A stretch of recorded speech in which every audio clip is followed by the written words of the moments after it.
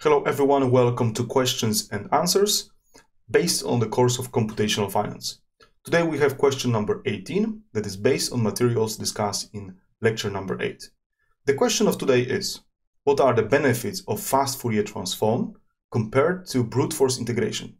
Here, of course, we are very much concentrated on pricing of derivatives. So by FFT, the question uh, means uh, Fourier transforms for pricing of options. So for example, method based on a Carr-Madan's approach, or for example, of the COS of the COS method. What are the benefits? Do we actually always need those methods to price options? Uh, we know from this course that the, the big, the most important element of uh, fast Fourier transformations uh, for pricing is that they are very fast. And they are not only fast for pricing individual uh, option for a given strike, but they allow us to price multiple strikes at the same time that happens by in means of some matrix manipulation, manip, uh, manipulations or uh, interpolations. In calibration, for example, in uh, once we want to apply a model in reality, we always need to calculate options for multiple strikes. So therefore, uh, calculations of those uh, using those techniques is very beneficial.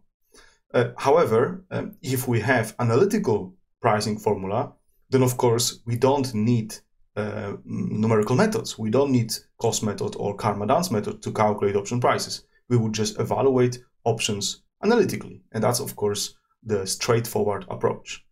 Uh, in, uh, in, in reality, however, we have very few models for which we know option prices analytically. Uh, it's typically difficult because if we deal with models like Heston model or SABR model and so on, uh, we don't even have maybe characteristic function if model does, does not belong to the affine class of processes. So the class of models for which we know analytically the pricing formula is very limited. Uh, therefore, the, let's say the next level, once we don't we don't have a pricing formula, next level is to find characteristic function, and then we can apply Fourier transformations. But of course, this class of models for which we have characteristic function is also very limited. We, in practice, uh, we experience cases where uh, models, even if they are fine, they are not flexible enough in order to calibrate to market data. However, in this particular question, we ask, what if we actually, do we actually need to calculate those option prices? So as mentioned, uh, we only calculate using fast Fourier transformation if we don't have an explicit solution. So this is very important. This is the key element. If you don't have explicit solution, but you have characteristic function, then we would go for method uh, like a Fourier-based methods for calculations. If we have here consider a very simple case where we have constant interest rates, then we know that the pricing equation uh, using the Feynman-Kac is uh, essentially only the expectation of the future payoff, which is discounted to today. And we can also write it in the integral form.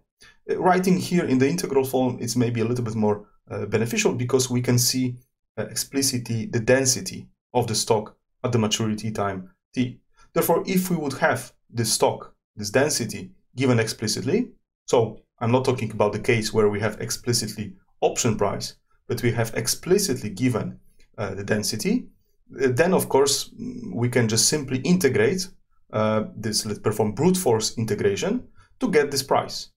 Of course, in the case where we would like to uh, calculate it for multiple strikes, that becomes a troublesome because this integral will need to be evaluated for every individual strike k. So that's kind of uh, uh, problematic. Also, uh, as indicated here, computation of this density often requires multiple integrations. So if we go back a little bit here, let me go here.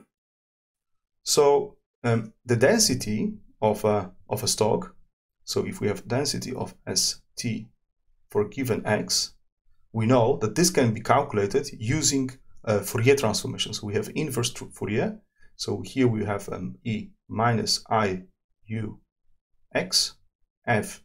This will be a sorry characteristic function. Characteristic function of u du. And here u it is. Right. So basically means that if we are able, we want to calculate this integral, this means that we have to calculate for multiple x's. So it's a whole domain of x from 0 to infinity.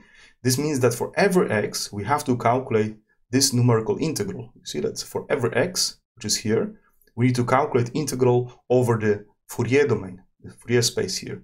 So this means that it will be extremely expensive if you would like to calculate density using brute force integration using characteristic function.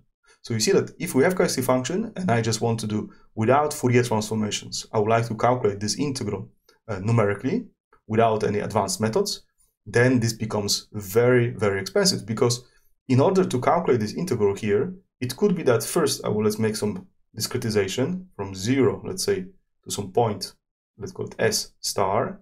We will have some discretization points. Let's, let's call it even 100 points here. Then for each of those points, I need to calculate this integral. So we have 100 of integrals in order to get, and actually then we have to calculate still one integral here. So it's 101 integrals. That is extremely expensive, as you can imagine. Uh, this will be very difficult to, um, to implement in reality once we are dealing with uh, multiple strikes, once we want to calibrate the model. Uh, the bottom line in uh, using of Fourier transformations is that we would like to use those models, or those models are used preferably for pricing in means of calibration of the model. So in the market, we would like to price let's say, exotic derivative, that for that reason we will not use a Fourier transformations. However, if you would like to price exotic with a given model, we need to find optimal parameters. And those parameters can be obtained by calibration of the model to plain vanilla options, so European calls and puts. For that reason, we need to have method that allows us to calculate option prices for multiple strikes and does it very efficiently. Fourier transformation, we would get those option prices for multiple strikes in one go. In this case, it will be multiple integrations. This will be extremely, extremely slow. Uh, likely, maybe Monte Carlo would be more efficient than this approach if we just go with brute force. Because imagine that, okay, in this case, maybe it's not so terrible because you see, if I recover here this density using this uh, integration, so for hundreds, hundred of in, uh, points in the S in the x domain, I calculate those integrals, then I can keep those to, and I can vary strikes. So then we have a, this doesn't explode so much.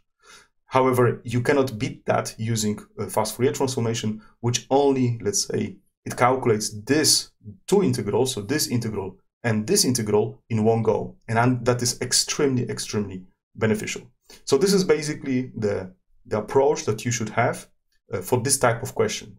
You should attack it from the perspective of the objectives of your model, why you actually need this type of pricing technique, and then look into the details, what type of integrations takes place. And if you look from this integral form, it's very clear that you need this density, and this density is related to characteristic function, and then you have to recover this density from the characteristic function, and that is very, very expensive numerically if you would like to do it for every argument, argument x. So I think that will be it. Uh, see you next time. Bye bye.